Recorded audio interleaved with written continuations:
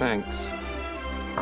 If you find there just aren't enough hours, bt.com slash timesmart has information and tips to help you get more out of your working day.